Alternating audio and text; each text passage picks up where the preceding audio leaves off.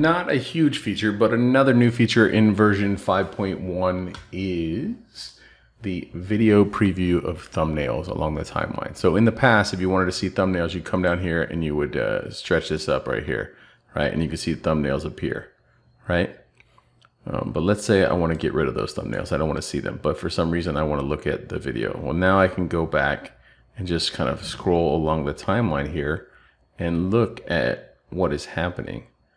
Um, you can see right there, I can see some movement, right? So it just makes it easy to kind of zoom in and find what you're looking for. If you're doing a quick scroll along the timeline, nice new feature available. Not much to say about it other than what I've just shown you. So um, check it out in version 5.0, uh, available now.